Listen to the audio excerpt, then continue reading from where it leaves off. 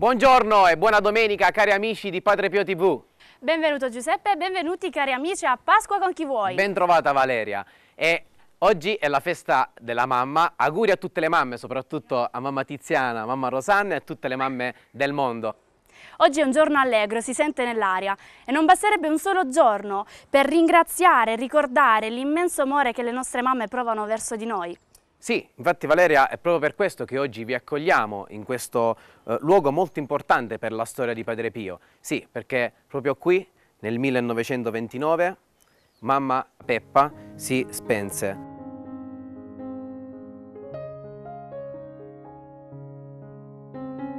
E proprio la sua grande sofferenza ci fa capire quanto Padre Pio voleva bene a sua madre. Esatto, ma di questo ne parleremo più tardi. Oggi ci troviamo alla casa di Maria Pyle, dove la benefattrice americana viveva e ospitava i più bisognosi, dando loro un pasto caldo ed un letto. Possiamo definirla come la mamma dei poveri. Sì, Valeria, infatti casa sua non era mai così troppo piccola per ospitare un pellegrino o un povero e la sua cucina non era mai troppo stretta per raggiungere un posto a tavola. Nata nel 1888, ma vissuta a New York, Adelia Pyle è cresciuta in una famiglia di religione protestante. Da grande eh, divenne amica e successivamente collaboratrice della nota eh, pedagogista italiana Maria Montessori. Si convertì al cattolicesimo solo nel 1918 a Barcellona, dove si fece battezzare proprio con il nome Maria. Nel 1923 giunge a Roma, è qui che sentì parlare per la prima volta di quel cappuccino stigmatizzato del Gargano. Così il 4 ottobre si reca a San Giovanni Rotondo nella chiesetta di Santa Maria delle Grazie e all'età di 35 anni finalmente incontrò il suo direttore spirituale, ovvero Padre Pio, e le sue parole vibrarono nel cuore. Figlia mia, non andare più in giro, fermati qui. Sì, infatti Valeria si fermò proprio qui a San Giovanni, dove diede tutta la sua vita, sia quella spirituale che anche i beni materiali, ai frati. Infatti proprio in questa casa dove ci troviamo adesso eh, è stata appunto donata da Maria Pyle e adesso eh, è un centro di accoglienza giovanile e vocazionale. Adesso Giuseppe cominciamo dando la parola alla nostra inviata Elisabetta Campanella. A te la linea. Ciao a tutti! Oggi è la festa della mamma e ovviamente il tema non poteva che essere quello del rapporto mamma-figlia. Nel film di oggi però la questione è un po' diversa da quella che intendiamo di solito quando pensiamo a un rapporto madre-figlia un po' complicato. Infatti ho voluto porre l'attenzione sulla mancanza di questa figura, prendendo in considerazione quelle persone che questa ricorrenza la vivono in un modo un po' particolare e d'altra parte volendo sottolineare quanto sia importante non dare per scontata la presenza e la vicinanza della della mamma. Come ha affermato la giovane attrice Benedetta Porcaroli, quest'opera tocca dei punti universali in cui tutti quanti si possono riconoscere al di là della dinamica precisa che il film racconta. Il film di cui voglio parlarvi oggi è un film italiano ed è 18 regali, diretto da Francesco Amato e uscito nel 2020, quando ancora si usava andare al cinema. Se non avete fatto in tempo a vederlo, vi racconto io la trama in breve. Una ragazzina riceve a ogni suo compleanno un regalo lasciato dalla mamma prima che morisse per un male incurabile. La mamma, non appena saputo di questo male incurabile, ha preparato 18 regali, da qui appunto il nome del film, per la propria figlia fino al raggiungimento della maggiore età. Ma proprio il giorno del suo diciottesimo compleanno, la ragazza, sentendo molto forte l'assenza della mamma, scappa dalla festa e viene investita da un'auto. Da qui in poi lei avrà l'opportunità di poter dialogare con la mamma. Nel cast troviamo Vittoria Puccini nel ruolo di Elisa, ovvero la madre, Benedetta Porcaroli che interpreta interpreta la figlia Anna e Edoardo Leo che interpreta il padre che si trova a lottare con questa adolescente. Sia la Puccini che la Porcaroli hanno ricevuto una candidatura ai Davidi di Donatello per le loro performance in questo film, rispettivamente per la miglior attrice protagonista e per la miglior attrice non protagonista. Ora un po' di curiosità. Il film racconta la storia vera di Elisa Girotto, una donna di 40 anni scomparsa prematuramente per un male incurabile. Non appena appresa la notizia, Elisa non riesce a rassegnarsi all'idea di non essere presente nella vita della sua bambina. Così escogita un sistema per poterle restare accanto anche quando lei non ci sarà più. E tra i 18 regali compare anche un mappamondo di sughero con le indicazioni dei luoghi che lei avrebbe voluto visitare con la sua bambina. Al tempo dell'uscita del film, la figlia di Elisa aveva solamente 3 anni e di lei il regista dice forse un giorno Anna, che oggi ha solamente 3 anni, vedrà questo film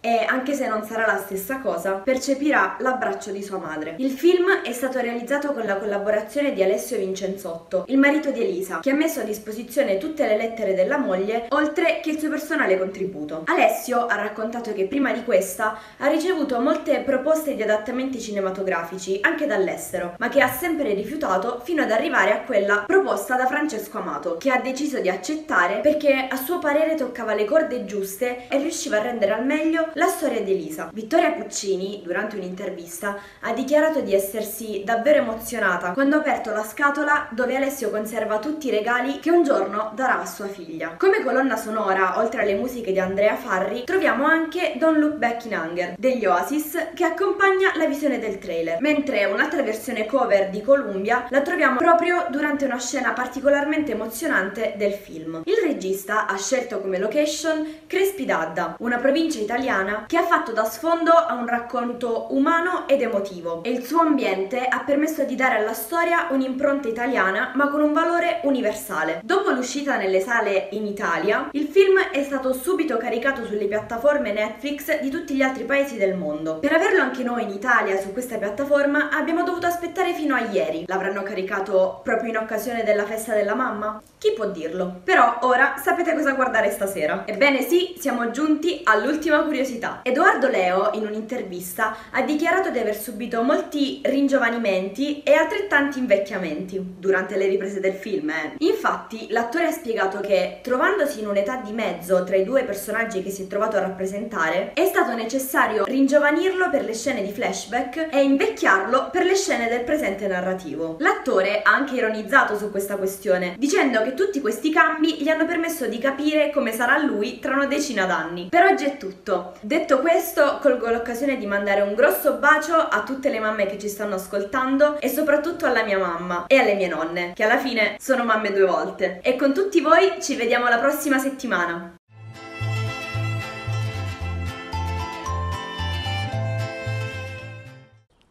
Grazie Elisabetta e appuntamento alla prossima settimana. Noi vogliamo continuare a parlare da questo luogo e soprattutto in una giornata speciale come questa del forte rapporto che c'era tra Padre Pio e la sua amata mamma perché era un rapporto straordinario, forte. Giuseppa Denunzio per tutti mamma Peppa. Sì Valeria, lo sai che eh, ogni volta che veniva il noto tenore italiano Beniamino Gigli a San Giovanni Rotondo, Padre Pio gli chiedeva sempre di intonargli la canzone Mamma e lui ogni volta che la sentiva scoppiava a piangere, proprio il ricordo della sua amatissima madre. È stata una mamma sempre presente nella vita di Padre Pio e accettò tutto, tant'è che nell'aprile del 1919, quando venne a sapere che i segni della passione di Gesù si erano presentati nelle mani, nei piedi e nel costato di suo figlio, con il cuore in gola venne qui a San Giovanni Rotondo e vi ritornò per altre tre volte, nel 1920, nel 1925 e alla fine del 1928. Sì, eh, quest'ultima volta ci andò proprio in compagnia di Maria Pail, che volle ospitarla dopo una breve permanenza a Pietercina. E noi però di questo ne parleremo dopo, cara Valeria. Adesso diamo la linea a Fra Michele Lombardi. Sono qui davanti al santuario di Santa Maria delle Grazie. Ormai siamo nel mese di maggio dedicato a Maria. Oggi parleremo di un'esortazione che ci ha detto Gesù. Amatevi come io vi ho amati. Purtroppo quando siamo delusi da qualcuno, specialmente da qualcuno che vogliamo bene, preferiamo rompere, tagliare il rapporto ed è proprio qui la linea di confine che c'è tra amore e amore cristiano e oggi parleremo proprio di questo.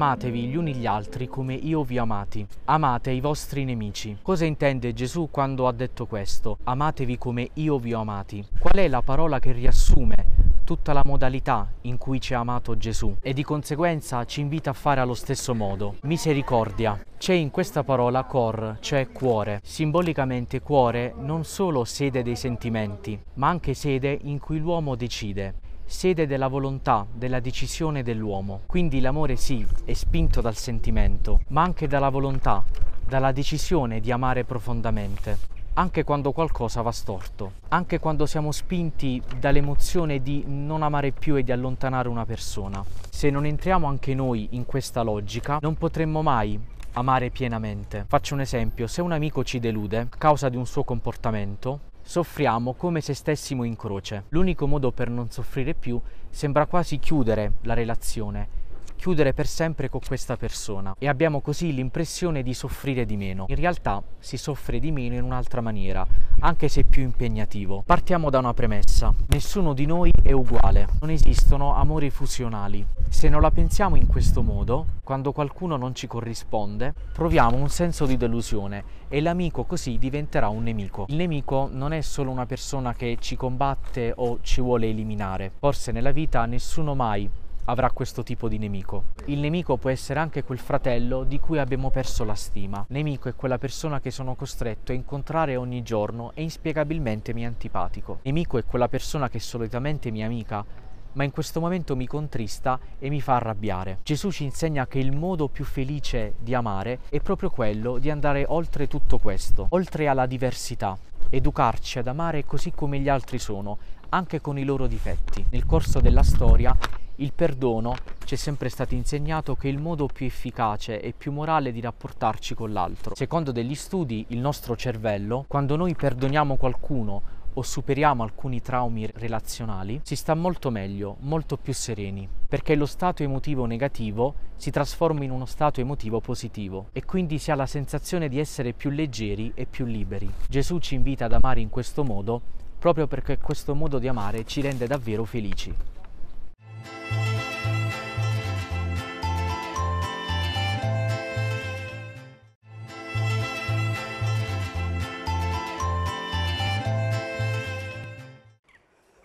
E ritorniamo insieme a Pasqua con chi vuoi. Giuseppe, prima eravamo arrivati al momento in cui mamma Peppa venne qui nel 1928. Sì, Valeria, infatti era il 5 dicembre, giusto in tempo per incontrare Padre Pio sul piazzale della chiesetta, che Peppa in quelle settimane si ammalò e si mise a letto con una brutta febbre. Infatti le venne diagnosticata una brutta polmonite doppia. Padre Pio era tutto per la mamma, andò a trovarla più volte, sempre accompagnato dal superiore del convento, che ogni volta eh, a prima mattina le portava appunto la Santissima Comunione. E Padre Pio le stette a fianco fino all'ultimo minuto e quando vide che la mamma stava per dare l'ultimo respiro non ne poté più. La baciò e le diede l'ultimo saluto e dopodiché svenne.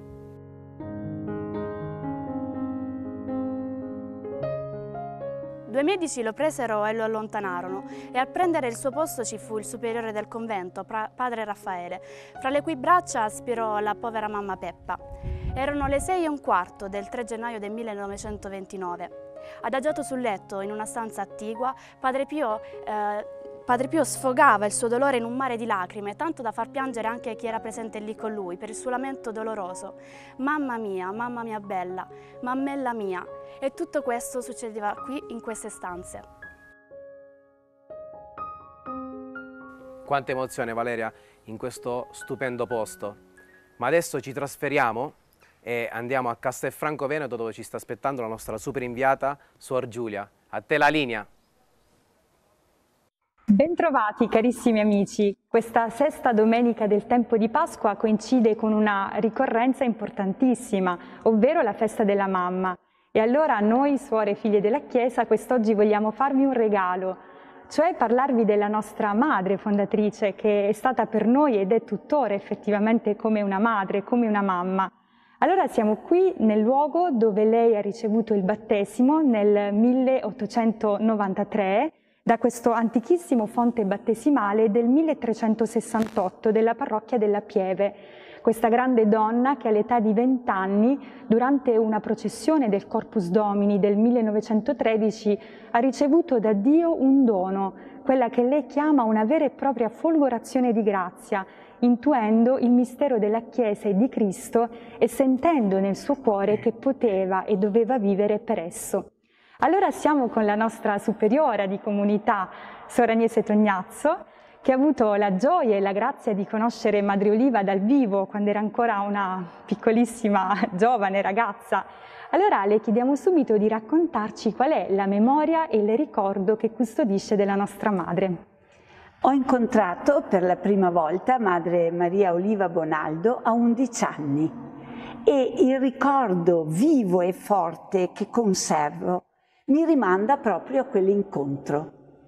Per me incontrare la fondatrice era come essere elevata al senso soprannaturale della vita, essere come proiettata in un oltre.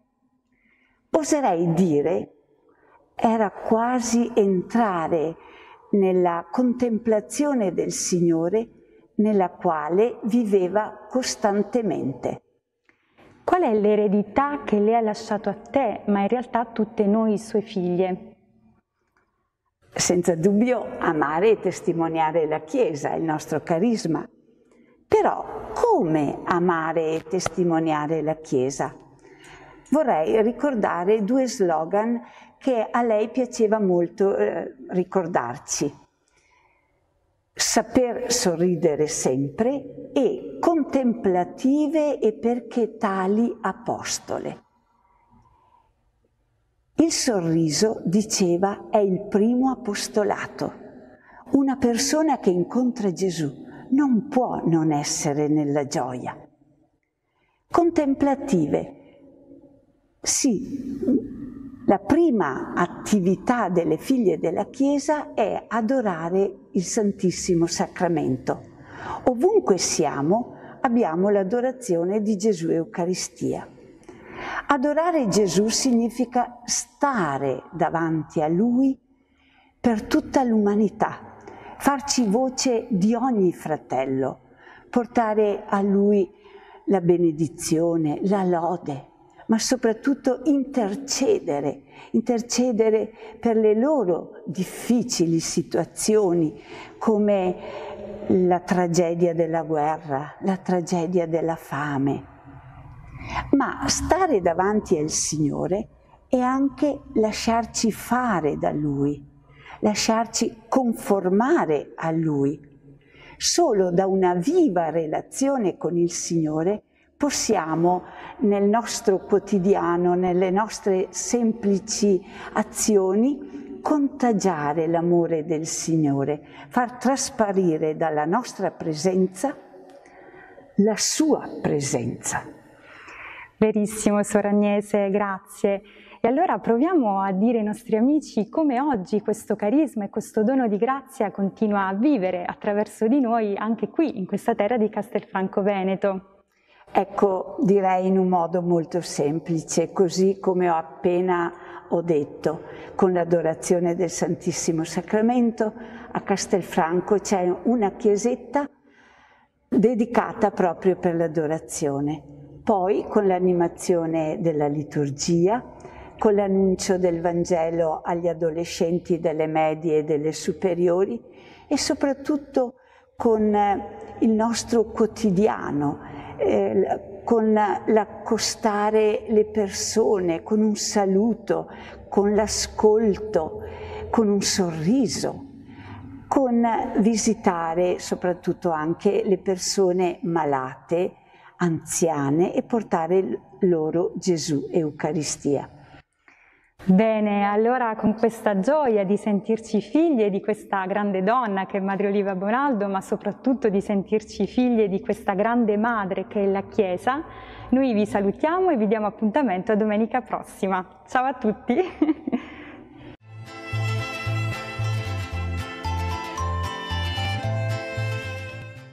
Grazie Suor Giulia e ci rivediamo la prossima settimana. Valeria, e anche da questo luogo vogliamo parlare di pellegrinaggi, lo facciamo con il nostro carissimo Carlos Sciarra.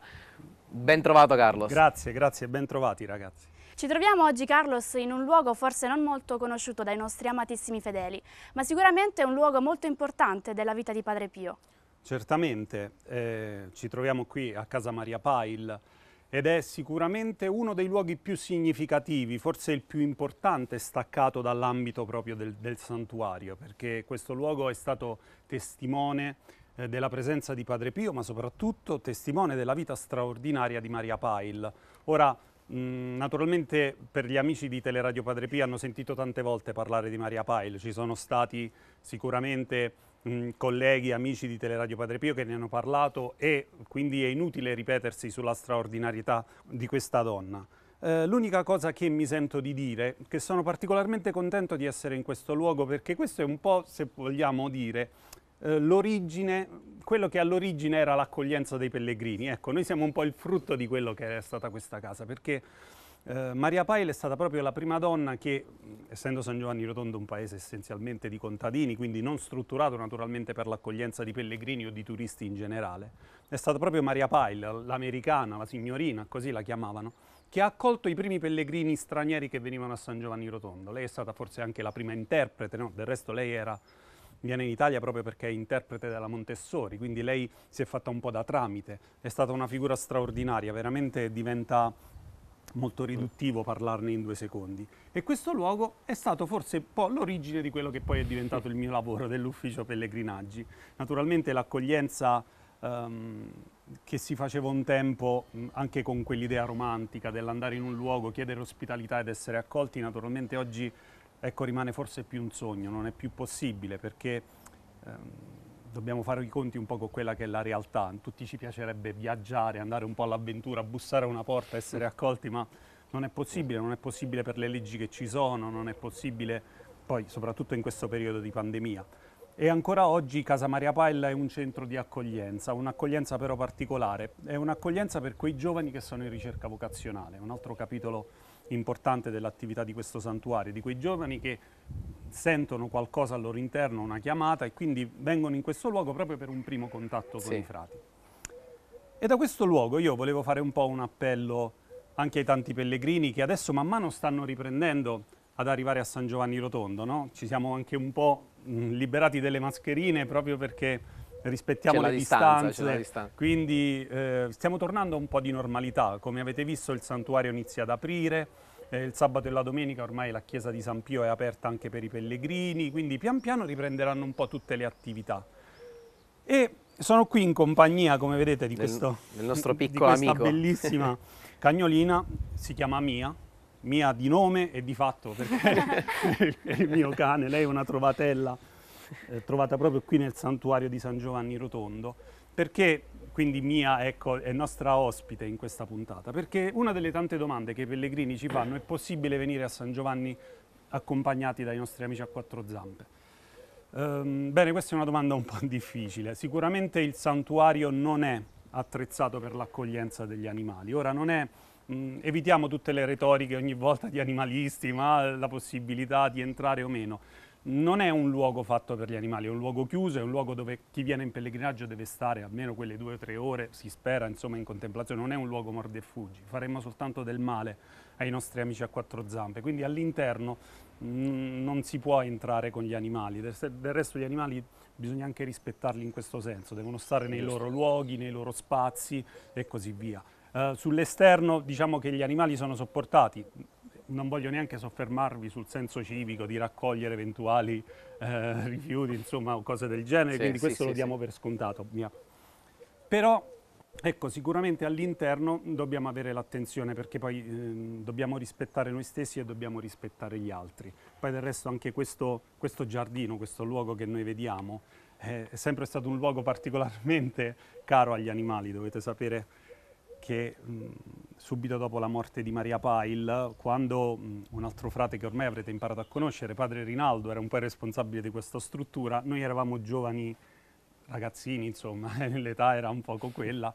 E questa era una specie di fattoria, avevamo centinaia tra galline, anatre, quindi cose. Quindi questo luogo particolarmente lo ricorda per dire che i frati sono sempre attenti alla, agli animali, quindi ne, nella loro vocazione di essere frati. Però ci sono luoghi che anche che dobbiamo rispettare per quello che sono. Quindi non è cattiveria quando ci dice che i cani no, o gatti non possono entrare. Naturalmente questo discorso non vale per, per cani guida o per quelle situazioni speciali, eh, naturalmente. Però rispettiamo, rispettiamo, noi stessi e rispettiamo anche gli altri. Grazie Carlos, Grazie. Eh, appuntamento alla prossima settimana. Va bene. Adesso noi cediamo la linea alla regia.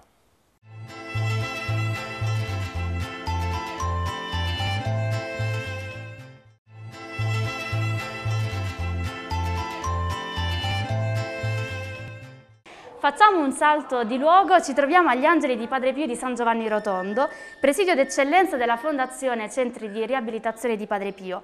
Il presidio è tra le altre cose un laboratorio di riabilitazione tecnologica dotato di sistemi ed apparecchiature altamente innovative nel campo della medicina riabilitativa. E oggi siamo qui per incontrare due donne. Sì, Valeria, siamo in compagnia di Suor Cherubina. Benvenuta a Pasqua con chi vuoi, Suor Cherubina. Oggi è il giorno della festa della mamma e questa parola ha diverse sfumature, diciamo mamma biologica ma anche mamma spirituale. Proprio la sua fondatrice, Maria Gargani, è stata una grande mamma per le sue figlie e per tante altre ragazze. Potremmo definirla quindi proprio una madre? Io intanto ringrazio perché mi avete invitato a parlare di questo. Maria Gargano è stata mamma vera ma sul vero senso della parola, perché è stata una mamma di tanti e tanti figli.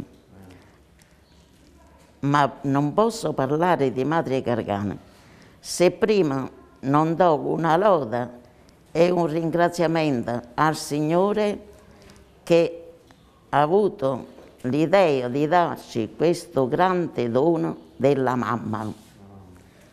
Oggi la festa della mamma e io come figlia privilegiata, devo dire, voglio dare un abbraccio, un augurio caloroso a tutte le mamme del mondo, ringraziando il Signore che ci ha fatto questo dono all'umanità. La mamma è la persona più cara che esiste è la persona più amata, ma soprattutto perché Dio ci ha dato la mamma delle mamme, che non possiamo negarli a nessuno. E penso che avete capito a chi mi riferisco, alla mamma delle mamme che è la Madonna.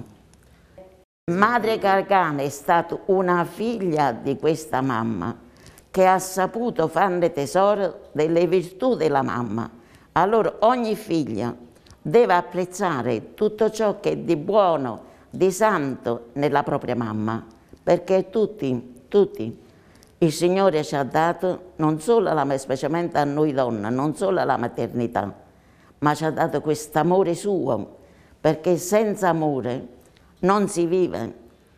Maria Gargane era una mamma sia a livello umano, sia a livello spirituale, perché io, come vi ho detto, lei mi ha cresciuto da piccola. Ecco, se ho qualcosa di buono, Grazie. lo debbo soprattutto non solo a mia mamma, che era abbastanza religiosa e formata, ma quando a madre Gargane, prima di tutto perché non solo mi hanno dato tutto il necessario per formarmi da persona, ma mi hanno dato la fede. Figlie care, mamme care, date la fede ai vostri figli, perché senza fede si vive, ma si vive male. Quindi per qualsiasi cosa, la cosa più importante è l'amore che devono dare ai figli e la preghiera, la fede, perché senza fede non si riesce a vivere veramente come si deve vivere. Grazie. Ecco. Grazie, grazie veramente, Sor Curbino. Grazie. Non fate mai pregare mancare la preghiera nella vostra vita, nella vostra famiglia.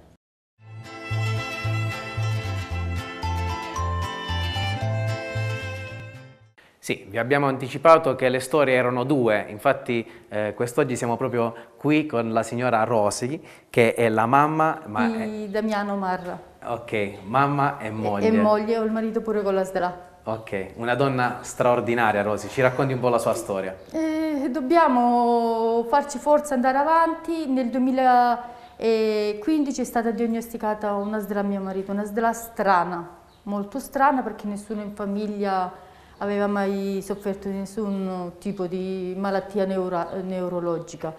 E poi siamo venuti, comunque io devo dire tanto grazie a Padre Pio perché siamo già venuti un'altra volta, ricoverati a casa sollievo sì. in quel periodo e la malattia lo stava divorando vivo mio marito. Da quando siamo venuti qua sembra come se si è bloccata, già è stato il primo miracolo a casa mia. E mio marito è trascorso sino al 2019, quei quattro anni, c'era la malattia però nell'armonia, nell'amore familiare, con l'aiuto di tutti i familiari, se la giocava, dobbiamo dire così, la malattia se la giocava, camminava tutto quanto perché lui era stato colpito agli arti superiori. Sì. Poi il 17 novembre del 2019 mio figlio Damiano ha avuto un incidente stradale, da allora è peggiorata la strada di mio marito, scusate se piango, e, il ragazzo in coma vigile. In un primo momento si diceva che lui, si parlava anche di donazione degli organi, però lui grazie a Dio ce l'ha fatta. E secondo me Padre Pio ci ha richiamato una seconda volta qui a San Giovanni Rotondo. E io ho fede in Dio, stiamo lottando tanto per lui, ha fatto dei piccoli progressi, io aspetto quel miracolo, ho fede che lui ce la farà la grazia, ho fede proprio in lui. Padre Pio nella nostra vita ha fatto tanto, dobbiamo dire, ha fatto tanto.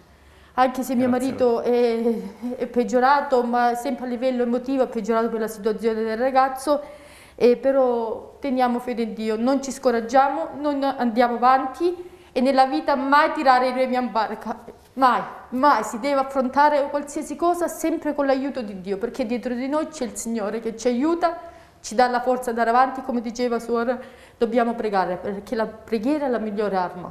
La preghiera è lei che ci dà la forza per andare avanti. Rosi, eh, qual è stato il momento più difficile? Eh, quando è uscita la dottoressa dietro la porta di quella sala operatoria perché mio figlio è entrato, si può dire morto, elettrocefalogramma piatto, elettrocardiogramma piatto. Quando mi ha detto signora non sappiamo se esce da quella sala operatoria e io gli ho risposto lui ce la fa perché eh, dietro di me io ho sempre sentito la, la mano del Signore, lui ce la fa e ho sempre risposto a tutti. In effetti eh, il 17 novembre fa due anni e grazie a Dio qualcosa anche a livello cognitivo il ragazzo sta recuperando, anche se son, ci sono stati tanti sbagli purtroppo sui primi momenti, però pazienza, affrontiamo anche questo. Io ho fiducia nel Signore che Lui ritornerà, ho fiducia veramente, non a parole ma a fatti, a fatti ho fiducia. Rosy, quindi in questo periodo ti prendi cura anche di tuo marito? Sì, sì, sì, e lo prenderò sempre, no. Quindi lei... Io non li abbandono. Non li abbandono, bello mio, no. E finito il percorso di qua me li porto a casa e eh, come ho detto stamattina a mio marito perché purtroppo è successa una cosa spiacevole io gli ho detto sono sempre al tuo fianco io non vi abbandono nessuno dei due no non si abbandona i propri cari si deve sempre lottare si deve andare avanti con coraggio e con fede nel Signore tanta fede Grazie, grazie, vera grazie veramente Rosy, grazie sì, veramente. Ti ringraziamo grazie. per questa straordinaria testimonianza. Essere una mamma non è sempre facile, no, però una mamma ha il coraggio di superare tutto per i propri figli, Ce quindi davvero grazie. L'amore, l'amore per la famiglia, l'amore ragazzi, perché quella è la cosa più importante, l'amore. E allora adesso è difficile andare avanti. L'8 maggio abbiamo ricordato la ricorrenza della prima apparizione di San Michele Arcangelo al Monte Gargano, casa sua, l'unica chiesa al mondo non consacrata dalla mano umana, ma consacrata proprio dal principe del paradiso stesso in questo giorno. E ora vogliamo collegarci direttamente lì con il nostro super inviato Pasquale Ciuffreda. A te la linea.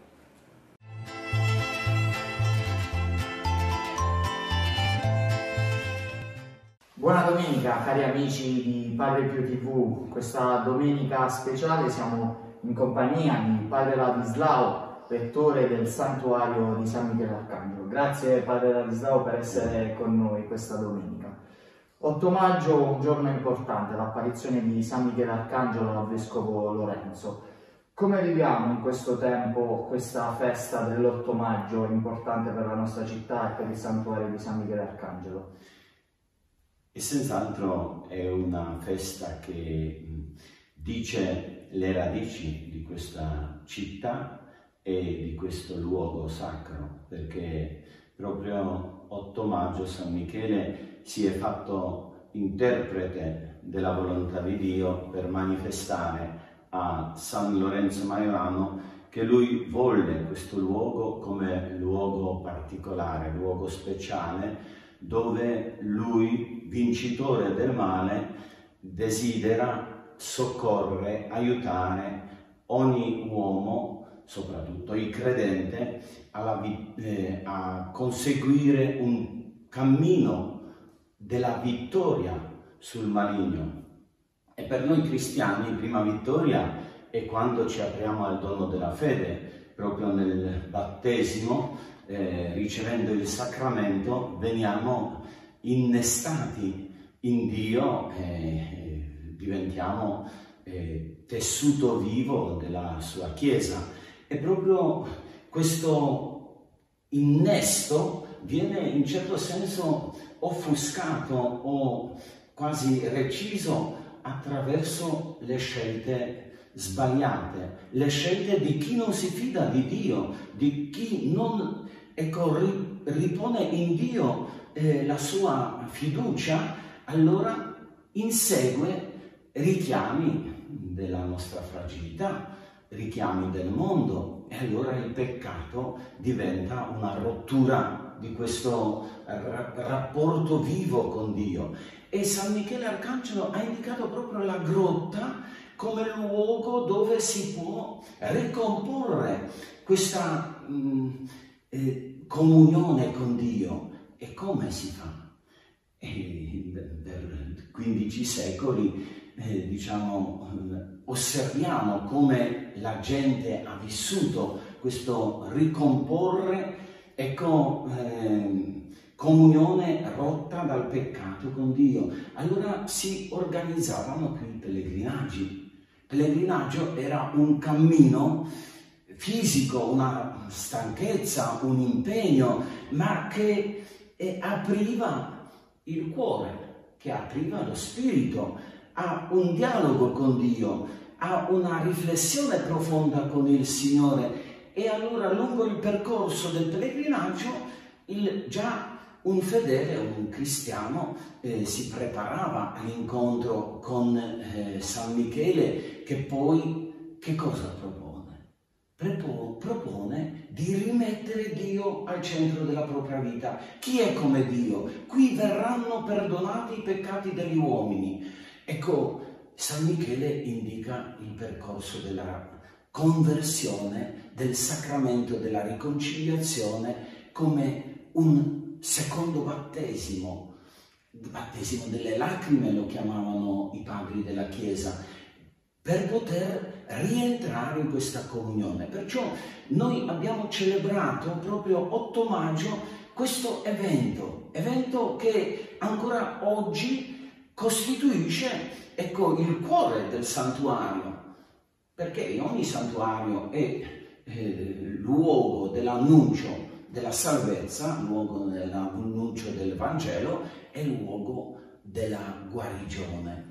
Una clinica spirituale la chiamava eh, San, eh, Paolo VI. Eh, eh, grazie, grazie di cuore Padre Ladislao per queste parole che hanno toccato il cuore, ci hanno ricordato ancora una volta che anche in un tempo difficile come questo torniamo all'essenziale, c'è un arcangelo, l'arcangelo Michele che non ci abbandona, ci guarda, ci protegge e ci custodisce. Auguriamo una buona domenica ai nostri telespettatori e ringraziamo ancora Padre Ladislao per essere stati con noi questa domenica. Grazie a tutti e saluto a tutti i devoti di San Michele sparsi in tutto il mondo.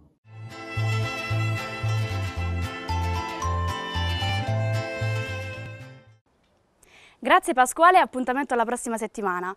Oggi il cuore di ognuno di noi batte forte per la persona più importante della nostra vita, ovvero la nostra mamma. Ma sicuramente i più emozionati saranno i bambini nel recitare la poesia davanti alla loro mamma, anche con la paura di deluderli, di sbagliare, senza sapere però che il cuore di una mamma si riempie di orgoglio, di gioia, già solo nel vederli.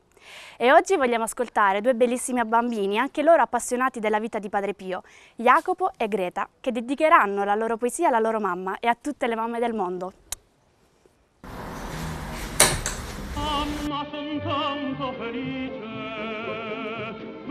Jacopo, lo sai che questa canzone era molto amata da Padre Pio? Sì, perché Padre Pio amava molto la sua mamma. Allora vogliamo dedicare una poesia a tutte le mamme del mondo.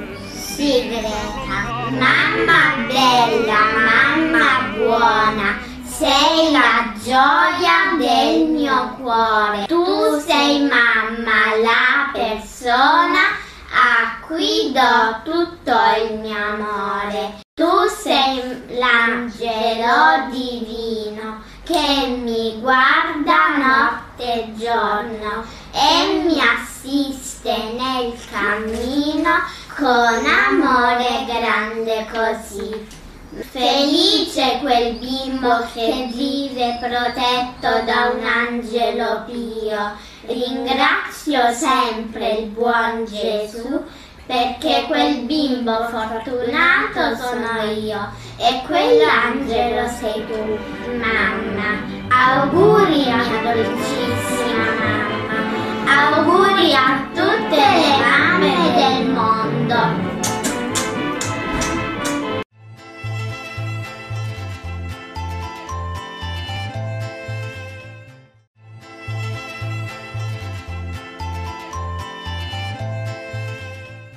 Ritorniamo insieme a Pasqua con chi vuoi. Padre Pio amava Pietrelcina, questo è un fatto ormai sicuro e documentato. Infatti a Lucia Iadanza, una sua figlia spirituale di Pietrelcina, proprio nel 1960 le chiese se era ancora in piedi la scaletta esterna di casa sua. Alla meraviglia di Lucia, per il fatto che Padre Pio ricordasse ancora la vecchia scala, Padre Pio rispose, io di Pietrelcina ricordo tutto, pietra per pietra. Ed è proprio lì che vogliamo andare adesso e lo facciamo con la nostra super inviata Marianna Morante. A te la linea. Ben ritrovati a Pietrelcina. In occasione della festa della mamma vorrei raccontarvi questo legame particolare che c'era tra Padre Pio e le sue due mamme, la mamma terrena, quella che lo ha partorito, allevato, educato, e la mamma celeste, la Madonna. Fra Pio, studente cappuccino a Sant'Ilia a Pianisi, sollecitato dal suo precettore Frantonino, scrive tra il 1904 e il 1905 questa tenera pagina dedicata alla mamma, un'affettuosa dimostrazione del legame amorevole tra una madre e un figlio che Padre Pio sintetizza straordinariamente in questa eloquente frase. Fra i tanti baci che l'affettuosa mia mamma mi ha impresso sul volto, uno più di tutti è quello che mi ha lasciato impresso sul cuore. Ascoltiamola. Oh quanto sono dolci e affettuosi i baci delle madri.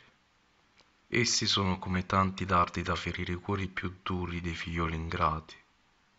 Che mai colui che a ricordarsi delle tante cure materne e dei tanti baci che esse ci hanno impresso sul volto quando si era vicini non può fare a meno di non pensare ad esse? Fra i tanti baci che l'affettuosa mia mamma mi ha impresso sul volto uno più di tutti è quello che mi ha lasciato talmente impresso nel cuore che al sol pensarvi non posso trattenermi dal rompere in questa esclamazione. Oh madre mia quanto mi ha amato che bello questo tema che abbiamo appena ascoltato, di una tenerezza e di un amore infinito.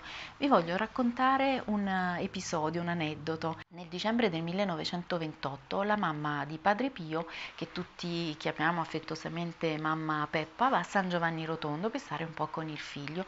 L'incontro avviene sul piazzale della chiesetta. Padre Pio non ha mai permesso che sua madre gli baciasse le mani piagate, un gesto che facevano tanti figli spirituali e che si fa tuttora come segno di rispetto e venerazione nei confronti del corpo di Cristo tenuto eh, fra eh, le mani durante l'Eucarestia.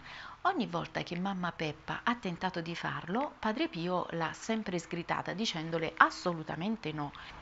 In quella occasione mamma Peppa ricorre a un piccolo stratagemma prende la mano del figlio e prima che lui la ritrae dice ti bacio la mano non per me perché l'ha chiesto zia Libera e gli dà il primo bacio.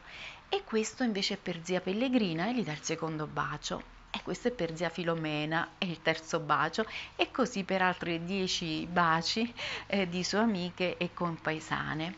E per finire dice Adesso Padre Pio la bacio per me. E mentre si piegava per baciare, Padre Pio alzò di scatto le mani e tenendo alzate disse questo mai. Il figlio deve baciare la mano della mamma e non la mamma il figlio. E do la linea fra Daniele Moffa che si trova nella stanza adibita a cucina della famiglia Forgione e che ci spiega questo rapporto speciale che esisteva fra Padre Pio e queste due mamme. Pace e bene a tutti.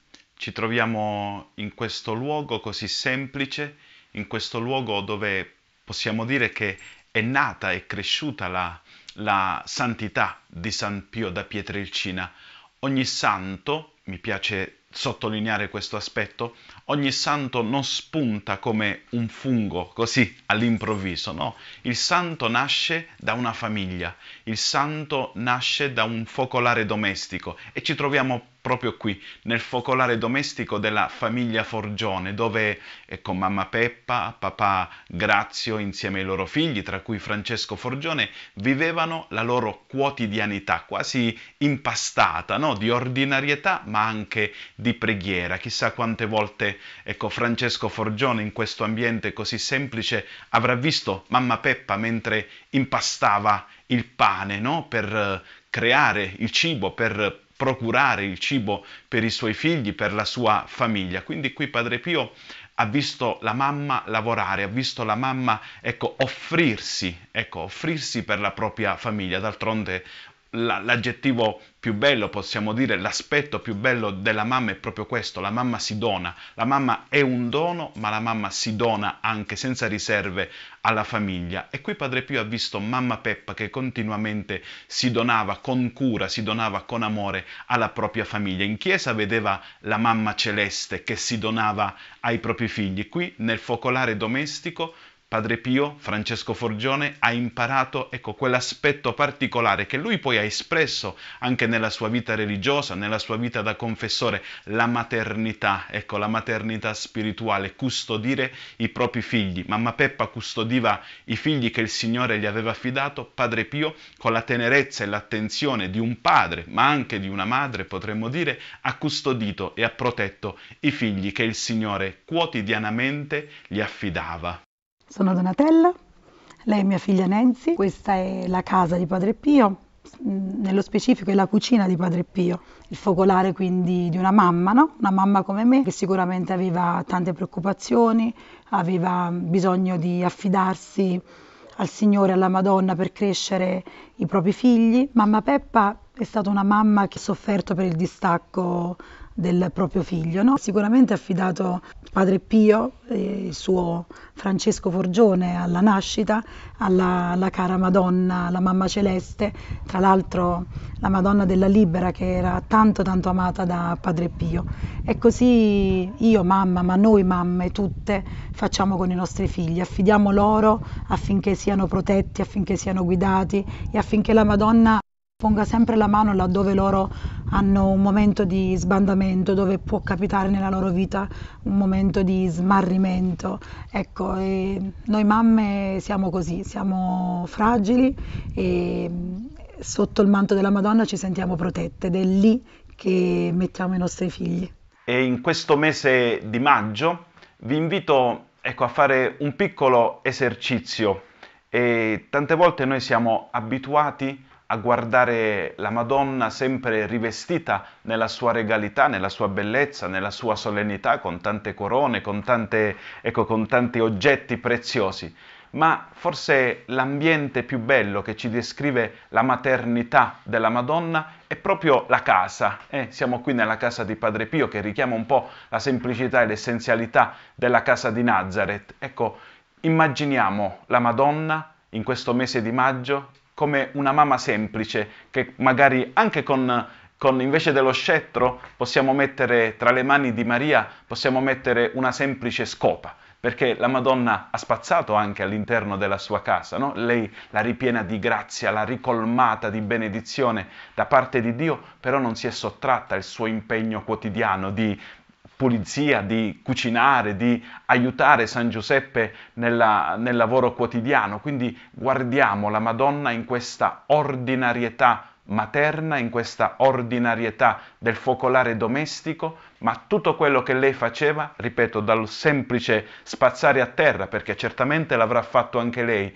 invece alle cose più alte come la preghiera, come la dedicazione di se stessa al Signore, lo ha fatto con amore, lo ha fatto ricolmando ogni gesto di amore e di donazione al Signore. Questo in casa, in questa casa, la Madonna ci dice di, di, di riempire, riempire ogni piccolo gesto con amore e tutto questo risulterà prezioso agli occhi di Dio.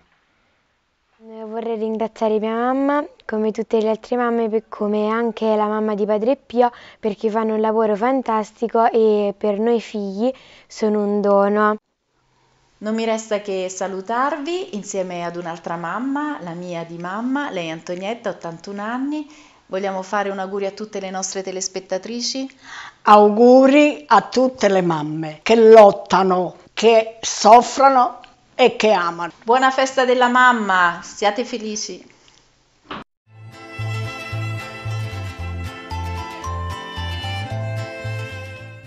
Grazie Marianna e appuntamento a domenica prossima. Anche questa volta entriamo da pellegrini in convento, ma lo facciamo in clausura. Sì, eh, Valeria, entriamo nel cuore del convento, dove i pellegrini non possono entrare, esattamente nella cella numero 5 e nel sacellum.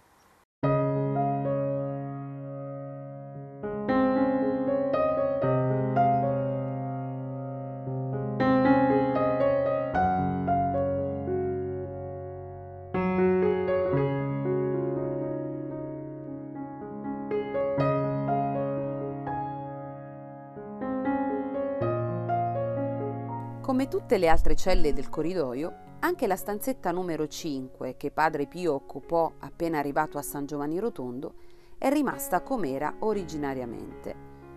2 metri per 1,80 cm, con un finestrino per la luce e la ventilazione.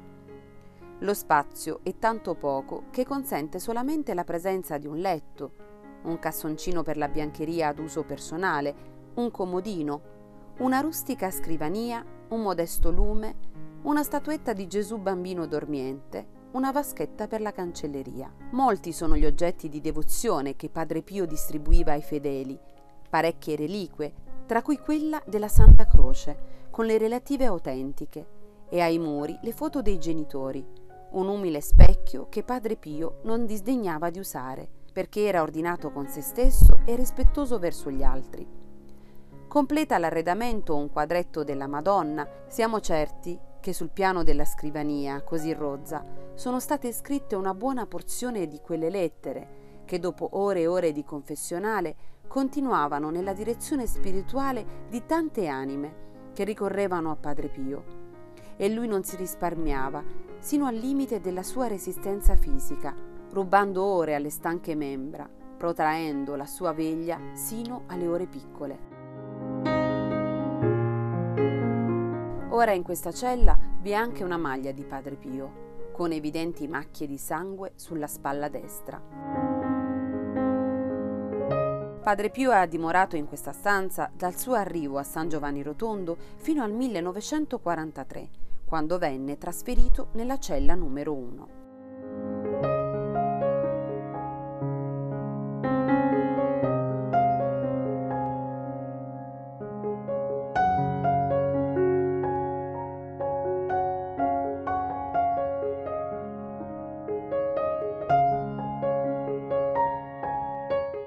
Due passi dalla stanzetta, di fronte, vi è una cappellina interna ricavata da due celle.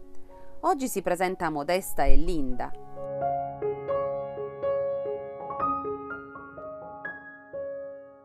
Una panca in ginocchiatoio, dove Padre Pio sostava, in genere per il ringraziamento alla Santa Messa e spesso confessava i penitenti. Un armadio incassato nella parete, un altarino con tabernacolo di legno e più in su, in una piccola nicchia, nella parete, la Madonnina. Sotto la mensa dell'altare, un dipinto tenta di rappresentare l'episodio biblico del sacrificio di Isacco. Su quell'altarino, Padre Pio, celebrò la Santa Messa per un periodo della sua vita. Il 23 maggio 1931 viene privato di ogni esercizio di ministero, eccetto la Santa Messa, che può celebrare soltanto nella cappella interna del convento e privatamente. L'11 giugno, festa del Corpus Domini, incomincia a celebrare nel Sacellum Privatum e i fedeli che aspettano in chiesa piangono. Resta sull'altare per oltre tre ore e così quasi tutte le mattine. E il 25 dicembre, per le tre sante messe, impiega oltre cinque ore. Scenderà a celebrare di nuovo in pubblico nella domenica del 16 luglio 1933.